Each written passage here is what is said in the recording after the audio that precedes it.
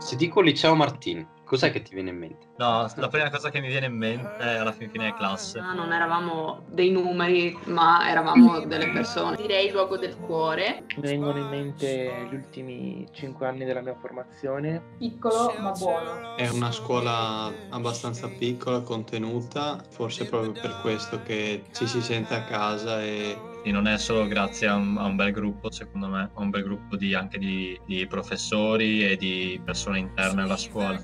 In cos'è che vi ha aiutato effettivamente il liceo Martin? Prima di tutto, secondo me, ci hanno fatto capire che siamo degli esseri pensanti. Tutti i professori sono riusciti a farmi capire cosa significa veramente il metodo scientifico. Allora, il liceo mi ha aiutato soprattutto nel ritornare, che è la parte scolastica sicuramente più difficile. Dato lì ho ricevuto tantissimo sostegno dai prof. Diciamo che il liceo linguistico di Latisana mi ha permesso di capire che era davvero quella la mia passione. Eh, Il fatto di aver incontrato un professore come quello che ho avuto durante gli ultimi anni di liceo è stato fondamentale per me. e proprio il fatto che gli insegnanti siano comunque qualcosa di più di semplici insegnanti e noi qualcosa di più di semplici studenti per loro mi abbia permesso anche di gestire meglio, di recuperare quello che avevo perso inevitabilmente nei, nei periodi in cui non ero a scuola. Mi è piaciuto molto l'esperienza della scuola piccola in cui si ricordano come ti chiami e si ricordano di te anche finito il liceo. Perché una persona dovrebbe scegliere il liceo Martin? Allora,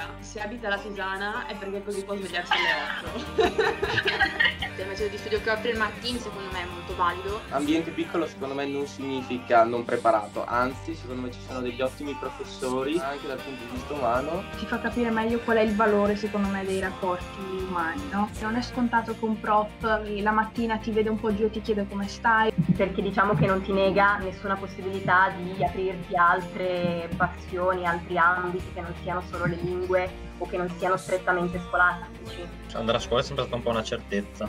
Uscivo di casa e sapevo chi, chi c'era, conoscevo tutti e non mi sono mai sentito spaesato. I professori non ti fanno sentire un numero, ma ti fanno sentire importante. E quindi non siamo semplicemente scatole in cui eh, riponiamo delle informazioni.